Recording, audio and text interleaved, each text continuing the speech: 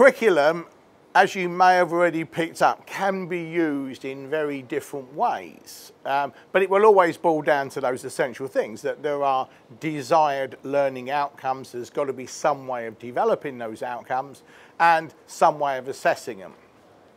In SP, we typically think of our curriculum primarily in terms of the courses that we deliver. And as we know, courses run for about three years in most cases, and they are made up of collections of modules. And what we're going to look at in this um, tutorial is how best to put all that stuff together and to think about the learning outcomes, the instructional system, and the assessment system. Um, you may also have noticed that in SP we sometimes talk about the CDIO curriculum. Um, now again, that is a particular curriculum arrangement, as we'll see a little bit later, but it still boils down to those fundamental components of curriculum. What is it that we want our students to learn and be able to do?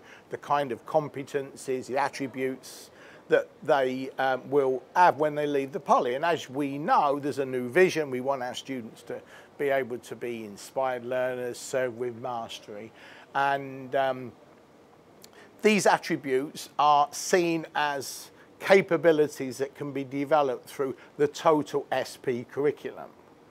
And we could even include things like the CCAs. They are part of the curriculum. And, but again, um, even with the CCAs, there are learning experiences, there, there's purposes. So um, I hope you can live with this flexible idea of curriculum as an educational offering or a series of educational offerings put together, which makes the, the total curriculum, which can be made up of a number of, if you like, curriculums that are seen as relevant to the total learning experience for our students.